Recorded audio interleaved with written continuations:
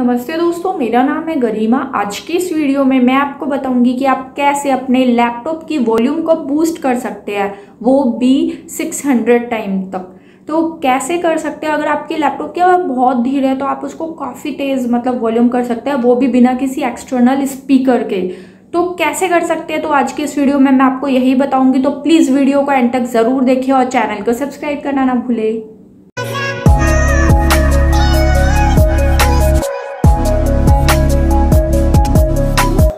ये जो ट्रिक है, ये है क्रोम ब्राउज़र के लिए। तो आप है ना, सबसे पहले अपने क्रोम ब्राउज़र पे आइए और यहाँ पर आपको सर्च करना है वॉल्यूम मास्टर या पूरा भी सर्च कर सकते हो वॉल्यूम मास्टर एक्सटेंशन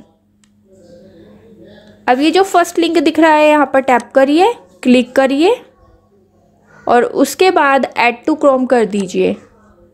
यहाँ ऐड टू क्रोम कर दीजिए।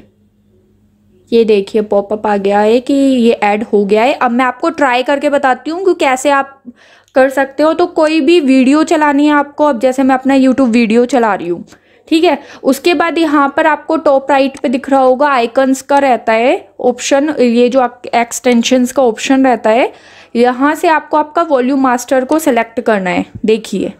नमस्ते दोस्तों, मेरा नाम है गरिमा। सो दोस्तों, आज के इस वीडियो में मैं आपको बताऊँगी कि आप कैसे किसी का भी व्हाट्सअप स्टेटस देख सकते हो और उनको पता भी नहीं चलेगा कि आपने सीन कर लिया।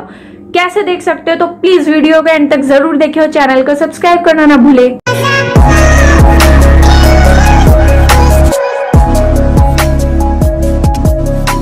आप देख पा रहे हो कि कैसे आप आराम से इजी अपने वॉइस को, आप वॉल्यूम को कैसे इंक्रीज कर सकते हैं। तो अगर आपको ये वीडियो पसंद आई है तो प्लीज़ वीडियो को लाइक कीजिए शेयर कीजिए कमेंट कीजिए और चैनल को सब्सक्राइब कीजिए। Thank you